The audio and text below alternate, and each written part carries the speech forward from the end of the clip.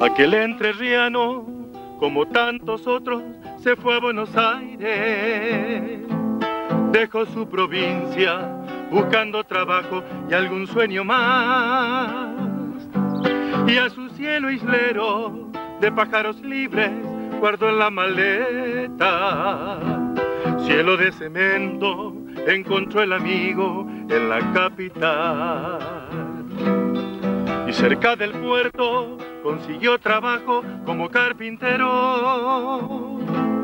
Y a los 15 días cobró el lapacero su primer jornal.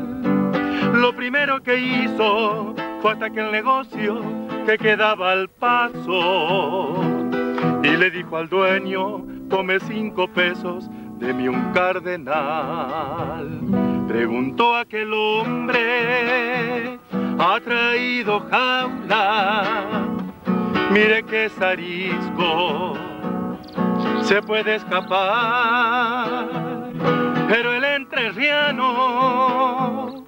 lo miró en silencio, besando las alas, soltó al cardenal.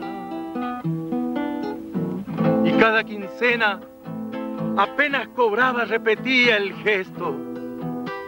Y el dueño una tarde le dijo, mi amigo, me quiere contar, ¿por qué gasta plata comprando los pájaros y luego los suelta?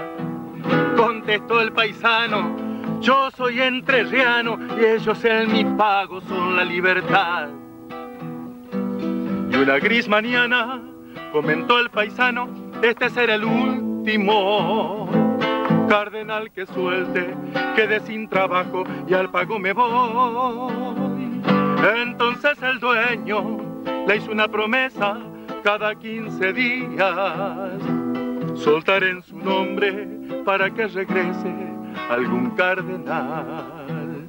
Y allá en Buenos Aires, hasta hoy recuerdan aquel entrerriano que solía soltar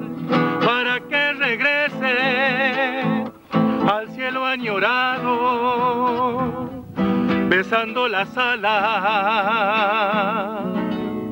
siempre un cardenal.